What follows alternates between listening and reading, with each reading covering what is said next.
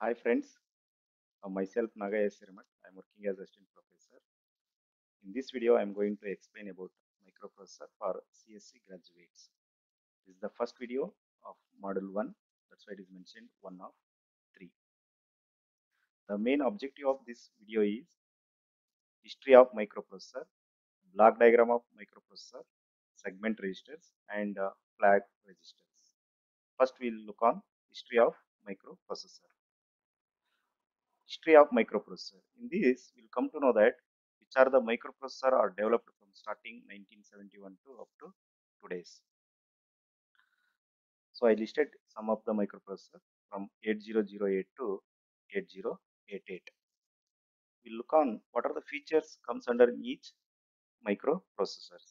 The first feature when it is introduced. The 8008 is introduced in 1972 Next 8080 1974, 8085 1976, 8086 1978, 8088 1979. The next feature which technology is used in those pro processors. In the first processor 8008, the first technology they used PMOS, P layer metal oxide semiconductor. PMOS stands for P layer metal oxide semiconductor in 8080 they used next technology that is NMOS technology. That is N layer metal oxide semiconductor. In 8085 also NMOS 8086 also NMOS 8088 also NMOS technology. Then how many transistors are available in each chip?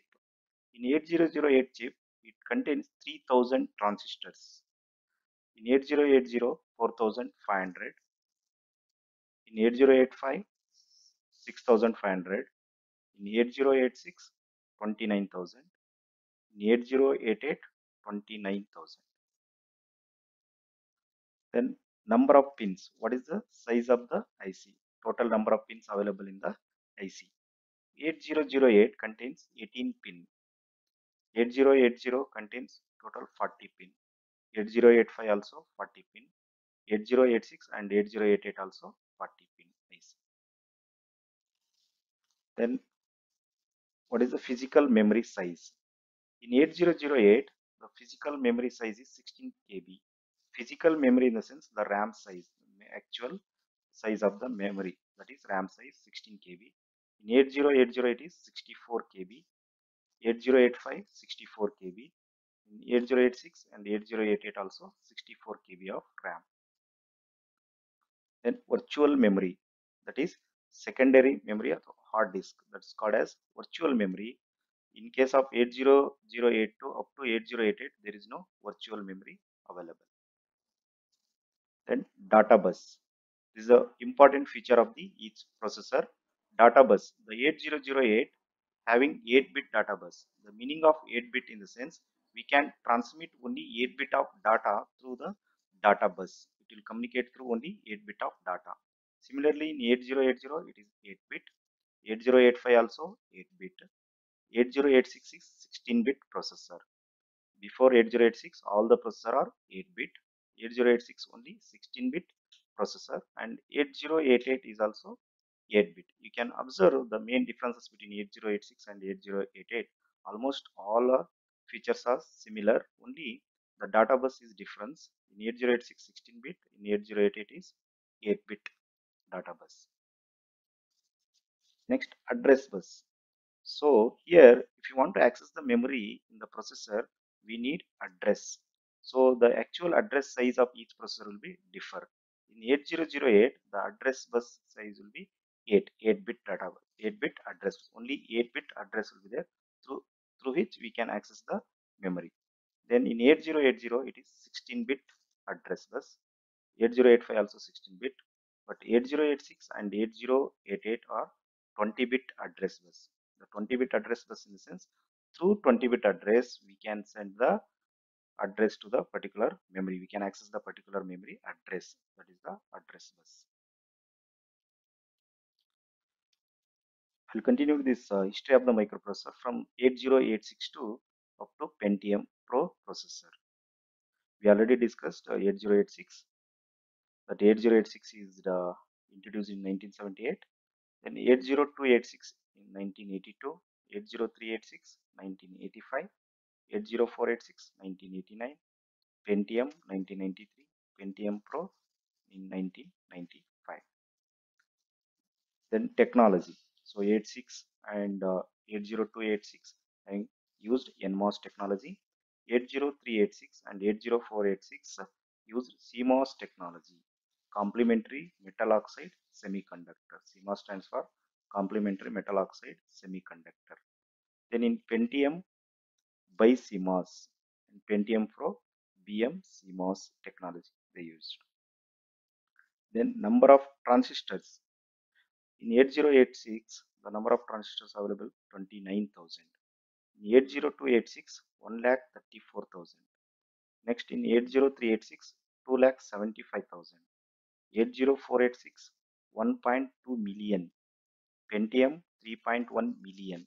The Pentium Pro 5.5 million. Why I represented here number of transistor based on the number of transistor, the size of the memory also increases the capacity of the uh, processor will be increases then number of pins. So 8086 is 40 pin IC 80286 68 pin IC 80386 132 pin 80486 168 pin Pentium 273 pin Pentium Pro 387 pin. Then physical memory. What is the size of physical memory? That is physical memory in the sense ram. So 8086 having 1 megabyte of memory 80286 16 megabyte of memory 80386 4 gigabyte 80486 4 gigabyte pentium 4 gigabyte pentium pro 64 gigabyte of memory. Then virtual memory in 8086 there is no virtual memory. 80286 having 1 gigabyte of memory. 80386 64 terabytes 80486 64 terabytes pentium and pentium pro also 64 terabytes of virtual memory and data bus 8086 16 bit data bus 80286 16 bit 80386 up to Pentium it is 32 bit and also Pentium Pro also 32 bit processor. From 80386 to up to Pentium, Pentium Pro, Pentium second, Pentium 3, Pentium 4 all having 32 bit data bus. Then address bus 8086 20 bit address bus 80286 24 bit address bus 80386 up to Pentium it is 32 bit and Pentium Pro 36 bit address bus. After this Pentium Pro, we have Pentium 2, Pentium 3, Pentium 4. Pentium 2, Pentium 3, Pentium 4 are 32 bit processor. The speed of the processor will be increases compared to Pentium, Pentium Pro in case of Pentium 3 and Pentium Pro. Next, we'll look on to the architecture of the 8086 microprocessor. It is 8086 microprocessor. I am concentrating on only 8086 microprocessor. This is the block diagram of 8086 microprocessor. It mainly consists of two units. The first unit is called as execution unit. The second is called bus interfacing unit. This part, left side part, this part will be execution unit. This part will comes for the bus interfacing unit. Under execution unit, the main parts are this is the data register that is general purpose registers. We have AX, BX, CX, DX, pointer registers, SP, BP, stack pointer, base pointer, index registers, source index, destination index. Then it has internal bus for communication within the internal blocks. Then we have temporary registers. After the operation of ALU, that is arithmetic and logical unit, the temporary data will be stored in the register. So that is part is temporary registers. Then we have flags. So these are the blocks comes under execution unit. In bus interfacing unit, we have again registers like segment registers, code segment, data segment, stack segment, extra segment, and one more instruction pointer. Then we have the bus control logic unit. then instruction queue. These are belongs to bus interfacing unit. This the main function of this execution unit is it gives the information to the bus interfacing unit from where to fetch the data. Where is the data is available. That information is given to the bus interfacing unit by execution unit. What, then what will happens? Bus interfacing unit will fetch the data. That data is given to the execution unit. Then execution unit, what it does, it decodes and executes the instruction. Normally, if, if you want to execute one instruction, it uh, takes three cycles. That is fetching, decoding, and execution operation. So fetching will be done by bus interfacing unit, and uh, decoding and execution part will be done by execution unit. Now we'll see uh, each block, what is the operation of each block in this architecture. The first execution unit, under execution unit we have general purpose registers, flag registers, pointers and index registers, arithmetic and logical unit. Under bus interfacing unit, segment registers, instruction pointer, address generator and bus control and instruction queue. Now we'll see what are the uh, parts of execution unit. In the execution unit, the first part is general purpose register. This is also called as programming model. The uh, registers available in the 8086, that part is, is also called as the programming model. First general purpose register is AX. This is also called as accumulator. All the registers in the 8086 processor are 16 bit. So AX is also 16 bit register. These 16 bit registers are divided into two bytes. One is higher byte, another one is lower byte. Because this AX loads 16 bit of data. Lower 8 bit data is called as lower byte of data that will be stored in the AL. AX is split into AH plus AL. In AL, lower 8 byte, lower 8 bit data will be loaded and higher 8 bit will be loaded in the AH. Why it is called as accumulator? In some of the opcode, the operation of the result will be stored in the accumulator itself, in the AX itself. That's why it is called as accumulator. It loads the data of result accumulator. Then it is also used for data transfer. Really use uh, in the arithmetic and logical unit operation. Then second general purpose register is BX. This is also called as base register. Why it is called as base register? In case of addressing mode, we are generating the base address with the help of BX register. That is the reason it is called as base register. It is also 16-bit register. It is also split into two 8 bits. Lower 8 bit called it as BL. Higher 8 bit will be loaded in the BH. Lower byte will be stored in BL. Higher byte will be stored in BH register. Then CX register. Normally in the programming part of the 8086 processor, we are using CX register as a counter, especially uh, in case of loop instruction. Uh, if you are going for the programming part, uh, we have the loop opcode. In that case, CX counter, CX register acts as a count register. So while explaining loop instruction, I will tell you how to use CX register. So it is also 16-bit register. This 16-bit again split into two bytes, lower byte and higher byte. In lower byte, CL will be there. Higher byte, it will be loaded in the CH byte. In the sense, one byte equals to 8 bits. Lower 8 bit will be loaded in CL. Higher 8 bit will be loaded in CS. So total 16 bit. 8 plus 8, 16 bit register. Then DX register, data register. Why it is called as data register? In case of uh, interfacing, we are taking the data from the external device and also we are sending the data to the external devices. In that cases, we are using DX register for the loading the data. That is the reason it is called as data register. It is of 16-bit register. Again, it is split into DH and DL. Lower bit, lower 8 bit will be loaded in DL. Higher 8 bit will be lo loaded in the DH register. And next, another use of this DX register. Suppose if you are multiplying two 16-bit numbers, then our result will be 32-bit. That 32-bit, lower 16-bit will be loaded in AX register, higher 16-bit will be loaded in the DX register. If you are performing multiplication of 16-bit, in that case also we are using the DX register and even in the division operation also. Then index registers. First one, source index. Why it is called as source index? Normally, if you want to point the memory location of the source point, if you want to transfer the data from one point to another point, you are calling the first memory location as the source location. In that source location, we are indicating SI register. That is the reason it is called as source index. What is the use of this source index?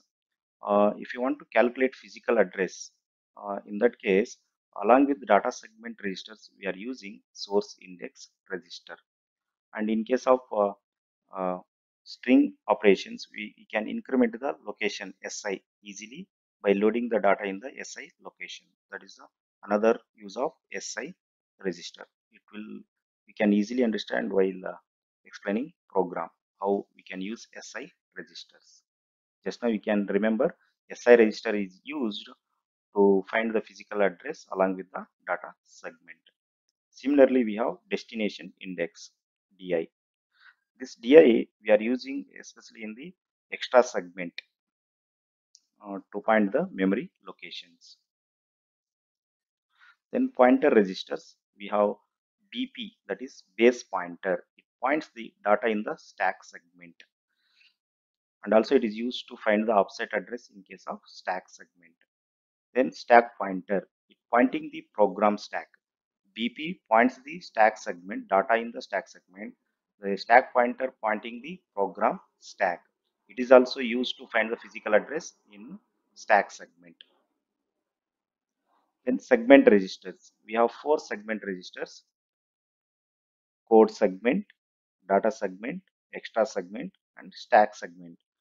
Here I have the effective or offset registers. I already told some registers we are used as offset register to calculate the physical address along with the segment register. So if you want to calculate a physical address, you are, if suppose if you are using IP uh, instruction pointer in the instruction, then this IP will be added with code segment register. So the code segment register will be added with IP, then we can generate the physical address. Then SI and DI BX, BX are by default offset registers along with data segment. SI and DI is using with extra segment register. Then SPBP stack pointer, base pointer are adding with stack segment to generate the physical address. You can see here the physical address formula. Physical address that is 20 bit address that is nothing but our memory of the uh, microprocessor is 20 bit address bus. To access that 20 bit address, we need to calculate the physical address. So physical address is equals to segment register address multiplied by 10h plus effective address. So here segment register address will be 16 bit because I already told all the registers are 16 bit. So it, can load only 16 bit address and effective address also. These registers also uh, effective registers or offset registers also capability to load only 16 bit address. So the 16 bit address is multiplied by 10h. So then it will be what happens 20 bit address plus effective address 16 bit. So it will be 20 plus 16 that is uh, 20 bit in that you are adding effective address. So totally 20 bit address will be generated by the physical address formula. Then we can access easily particular uh, segments in the memory locations. So you can see our uh, 1 megabyte of memory. In that 1 megabyte of memory, some of the part is divided into four segments. The we have data segment, code segment, stack segment, extra segment. Each segment size will be 64 kilobytes. Total I have 1 megabyte of memory, 8086 microprocessor. In that, some portion is divided into segments, four segments, data segment, code segment, stack segment, extra segment. Data segment 64 kilobytes, code segment also 64 kilobyte size, stack segment also, extra segment also 64 kilobytes of size. So data segment size, it starts from 2000H to 2FFFFH. So this is 2000H, it is 20 bit. How it is 20 bit? Each uh, uh, digit will be 4 bit in the binary. 4 into 5 total 20 bit address. So data segment address starts from 200H to to FFFFH. For code segment it is 30000H to 3FFFFFH. Then stack segment 50000H to 5FFFFH. Extra segment starts from 7000H to 7FFFFH. Is it clear? So this is called as physical memory or physical address. So for to find out this physical address, we need the segment address plus effective address registers. Then only we can calculate the physical address. In the next video, I will give some examples to how to calculate the physical address for the opcodes. Next, instruction pointer. It is also 16-bit register. It is used to calculate the physical address along with code segment. Then ALU, arithmetic and logical unit. This arithmetic and logical unit performs arithmetic operations as well as logical operations. In arithmetic operations, it performs addition, subtraction, multiplication, and division. In logical operations, it performs AND or NOT. Next, flag register. In that flag register, we have conditional flags and also control flags. The control flags are TF, IF, DF. So here, this is the structure of uh, flag register. You can see the first one, CF, that is carry flag.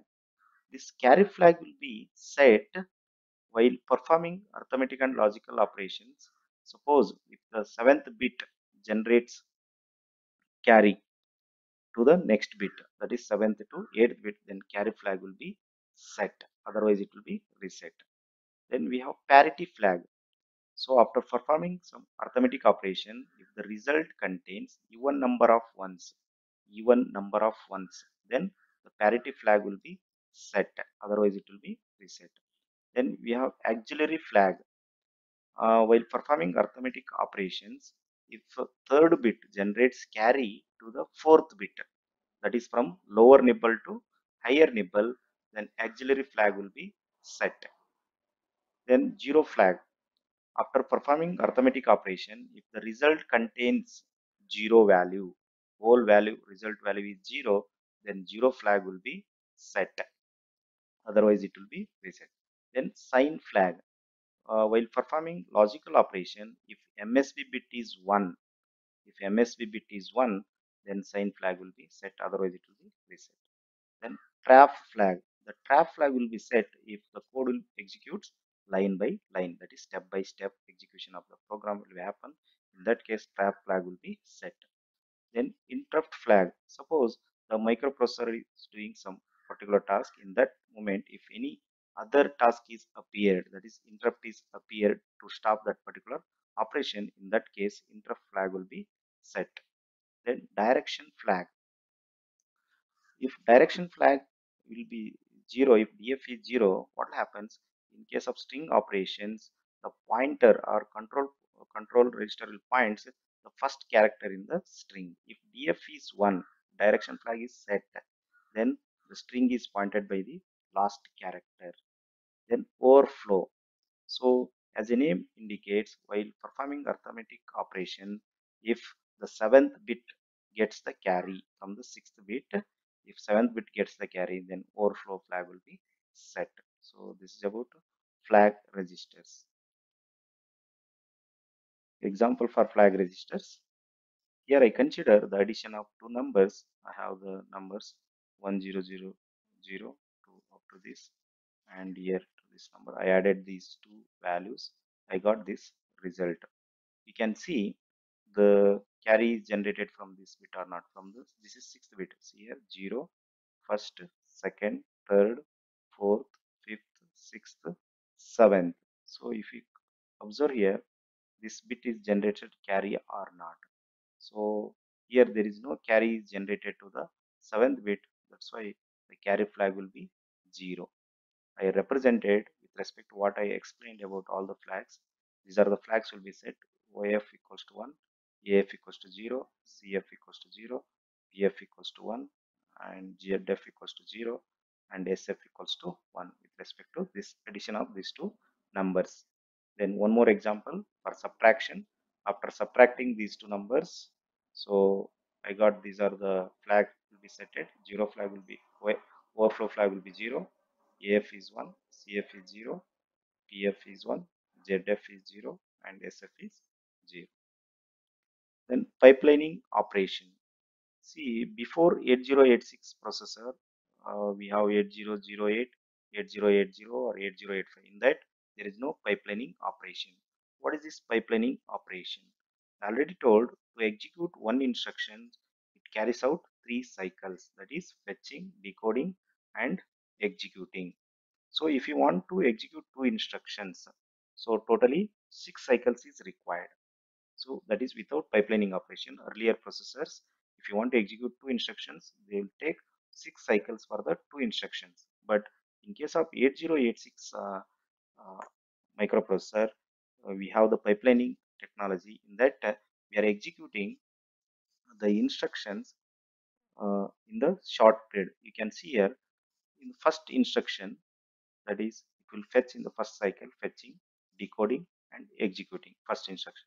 While decoding the first instruction, we are fetching the next instruction.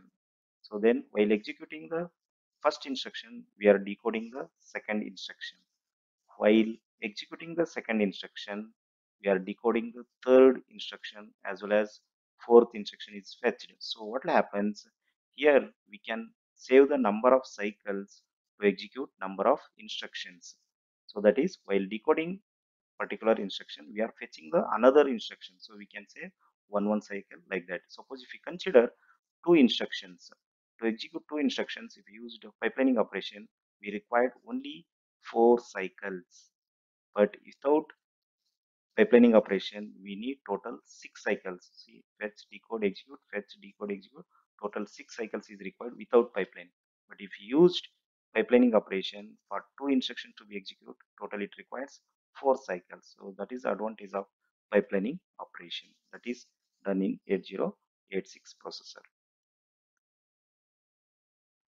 Thank you for watching. If you liked, share it and also subscribe. And if you have any comment, please inform. Thank you once again.